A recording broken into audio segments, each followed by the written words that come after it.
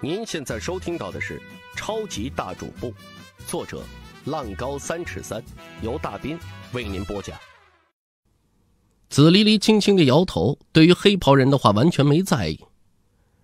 不知道吗？这不重要。气氛变得微微凝滞，好像停顿了下来。尤其黑袍人的气息非常冰冷，明显是压抑着他心中愤怒和杀意。之所以他没有选择立刻动手，是因为他也有一种不太确定的感觉，究竟是不是可以战胜面前这老头呢？就在他犹豫的时候，李高楼却盘膝而坐，闭上了眼睛。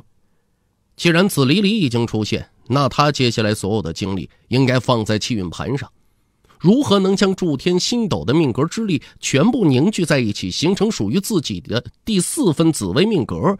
这不是简单的问题。因此，他必须集中自己全部的力量，不能分心。毕竟，哪怕是第四分紫微命格真的凝聚成功，想要在气运盘上战胜黑袍人，也不是那么简单的事情。看到李高楼的动作，黑袍人终究还是动了。他知道自己如果继续犹豫下去，那么一切真的即将结束。这样的事情他是不允许发生的，所以他必须尽全力去阻止。那么，杀了紫离离就是第一步。他的身影在空气之中响起了尖锐的声响，紧接着，黑色的影子瞬间来到紫离离的面前。一个六分紫微命格的黑袍人，怎么说都达到了巅峰。他的全力一击究竟能够爆发出什么样的力量，没办法想象。而紫离离则是猛地后退了一步，然后动作好像非常缓慢地举起了拳头。面对如此快到极致的黑袍人，他如此缓慢的动作，怎么看都相当的怪异。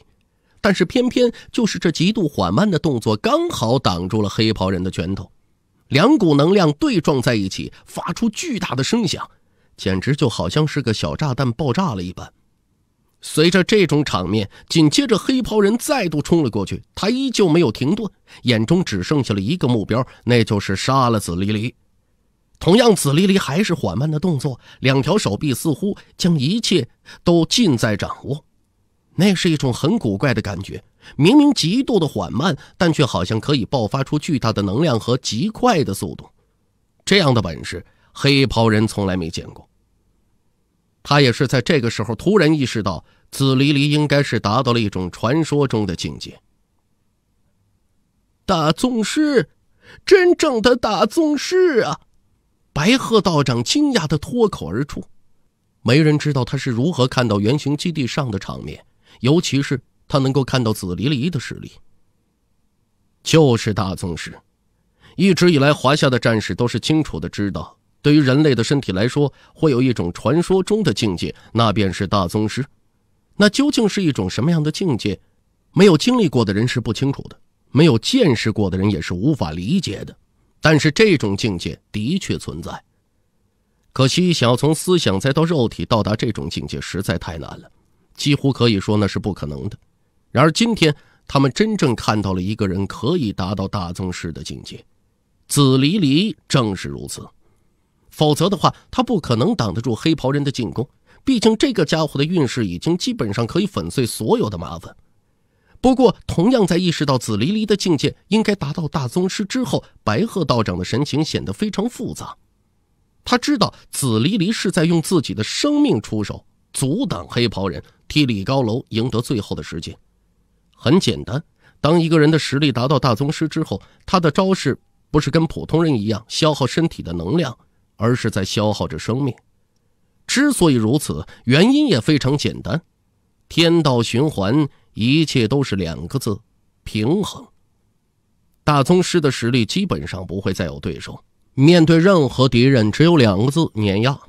所以，他们如果保持静止，可以活很久；但是，一旦选择跟人动手，那么情况完全不同。正是因为清楚这一点，所以白鹤道长最终还是轻叹了一句：“李高楼，一定要成功啊！”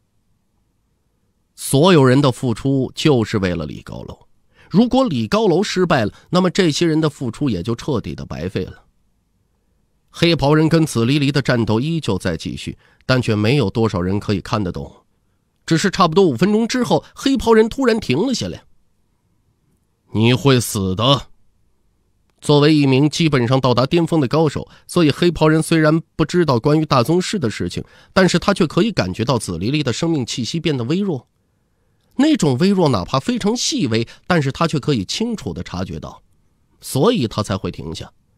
紫离离这样的高手非常罕见，所以黑袍人非常欣赏，因此他想着自己是不是可以换一种方式去跟紫离离进行某种合作。然而，就在下一刻，一把刀刺穿了他的肩头，也就是他停顿的片刻，根本没反应过来紫离离是如何动手，尤其是这把刀已经送进了他的肩膀。这样的事情，黑袍人遇到过，以至于这种痛苦让他有一种不真实的感觉。战斗的时候，你这样是会死的。轻飘飘的声音从紫离离的口中响起，他对于自己的生命气息正在变得微弱这件事显然浑不在意。他在意的只有一件事，那就是李高楼。用尽一切办法替李高楼拖延时间，自己的生命已经算不得什么了。只要可以让李高楼成功度过这段艰难的时期，并且凝聚出那第四分紫微命格，一切都是值得的。混蛋！我要杀了你！终于反应过来，自己已经受伤的黑袍人，在这个时候的愤怒无法抑制，他又一次的冲了上去。这一次的黑袍人激发出自己全部的能量，就像他这句话说的一样，他又杀了紫离离，不顾一切。至于说紫离离，这个时候还是保持着跟之前一样的平静。他今天会出现在这儿，就已经做好了应对所有危机的准备，包括付出他的生命。更何况，他或许可以杀了眼前的黑袍人。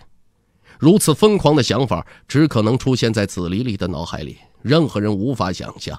因为这个黑袍人是永生会的首领，一直以来永生会都是他一手建立的，而且他的身上可是有着六分紫微星命格，更不要说诸多隐藏的手段，而且可能就是来自于暗黑者文明的武器，所有的这些都让他显得无人能敌。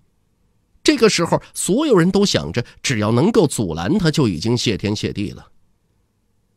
紫离离大宗师的境界可以跟黑袍人呈现出一种势均力敌的状态，已经让人觉得不可思议。